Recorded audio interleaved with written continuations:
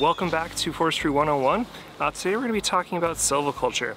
Uh, and silviculture is the art and science of controlling the establishment, the growth, the competition, the health, uh, and really the quality of the forests uh, in order to meet specific uh, landowner management objectives. So to accomplish this, uh, we do different activities such as thinning and harvesting and planting to regenerate the forest. we tend the forest to make sure that the growing stock that is left in the forest uh, is of the healthiest uh, and highest quality uh, trees and the most desirable species. And so when we think about forestry, we're really thinking about controlling the species composition, the structure uh, of the forest, uh, and, and the density of the forest. And we can all do these things through silvicultural activities. So these silvicultural activities uh, are generally called treatments. Uh, and we talk about the long-term planning. These treatments uh, are set uh, in process uh, through uh, prescriptions, silvicultural prescriptions. And generally, when we're developing a silvicultural prescription, we're going to define it in the context of the silvicultural system. So the silvicultural systems are named after the number of age classes uh, that will result uh, from our, our treatment, from uh, our regeneration of the forest. Uh, so the number of age classes uh, is meaningful because it tells us a lot about the structure uh, of the forest.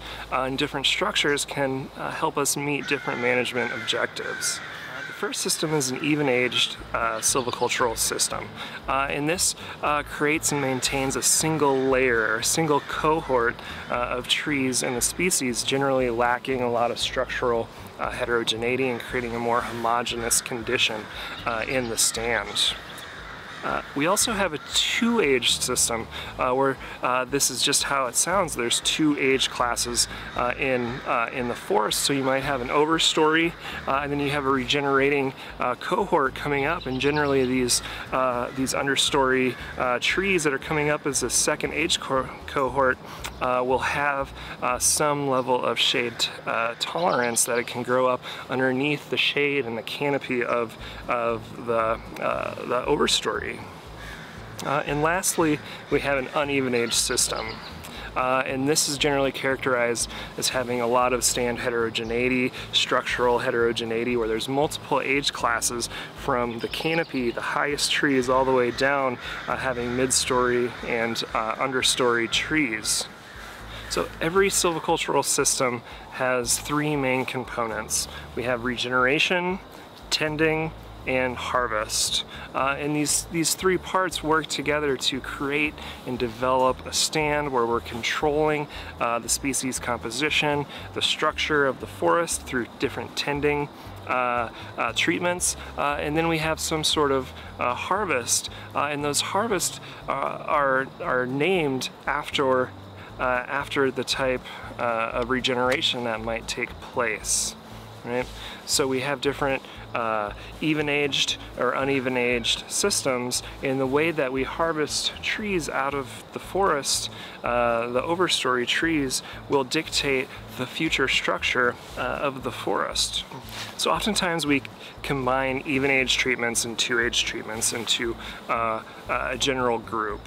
Uh, and within within this system, this even-aged systems, there's three primary uh, methods for creating an even-aged forest. Uh, there's clear cutting, there's a seed tree method, uh, and there's the shelter wood method.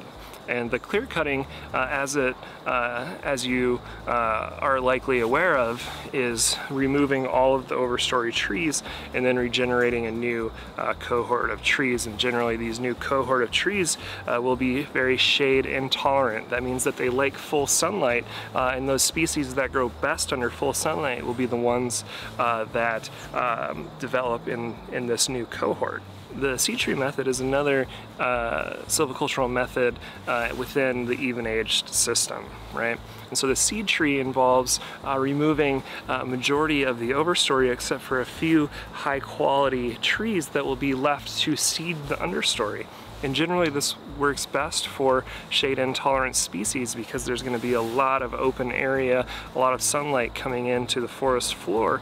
And so if we leave the spe with we leave trees uh, of species that are shade tolerant, that means that those species will do best uh, when regenerating if we have species uh, that uh, prefer the shade, uh, the seed tree method uh, would not be appropriate uh, because we're not going to get or recruit the desirable species that we're trying to regenerate because they can't compete with those species that love growing in full sunlight. Uh, and our last even-aged method uh, is the shelter wood. Uh, and the shelter wood is generally comprised of three parts. Uh, there's an optional preparatory cut which uh, prepares uh, the forest for, for treatment.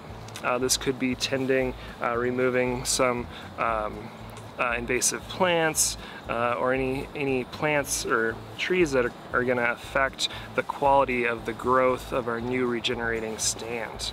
Uh, then we have our establishment uh, cut, uh, which removes uh, uh, quite a bit of the overall volume of the stand, but leaves enough uh, trees that provides shelter for this new growing cohort underneath in the in the understory. Generally have a, what's called a selection system and we can have single tree selection and group uh, selection. When we talk about single tree selection, uh, we're identifying individual trees to remove uh, from the forest. So this is a much higher intensity uh, silvicultural method uh, and it requires a lot of detail in going through and marking specific trees uh, to help us meet a specific age size structure within the forest. Alternatively, we can uh, do what's called a group selection, where you're going in and identifying, identifying groups uh, of trees and removing those trees uh, so that it creates an opening in the forest so a new cohort of trees grows in that opening. And over time, you create multiple layers, uh, multiple openings at different time intervals, and so you'll have a different structure uh, within the forest. Uh, silviculture generally refers to uh, sound forest management uh, to meet specific management objectives. And we have a range of, of uh, forest management objectives uh, that we've talked about in the past uh, within this series of Forestry 101, whether it's related to timber or wildlife or water quality or, or, recreation or just enjoying the general aesthetic of the forest.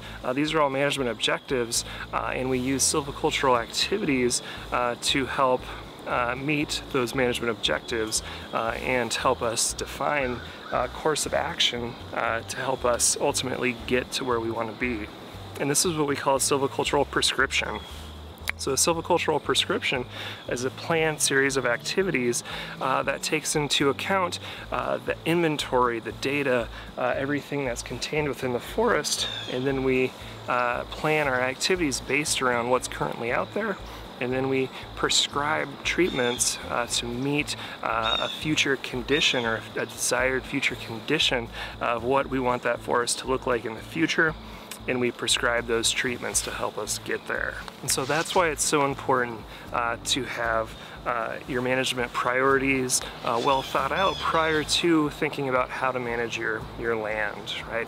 Uh, and so if you're a woodland owner, uh, thinking about your priorities, uh, what you want out of that forest, and then you can help convey that to a forester or a silviculturist that can come help you uh, articulate uh, and think about actual activities uh, to help meet those uh, objectives and, and priorities uh, within your woodland. Thanks for joining me today, uh, and until next time, I hope you and your woodlands stay happy and healthy.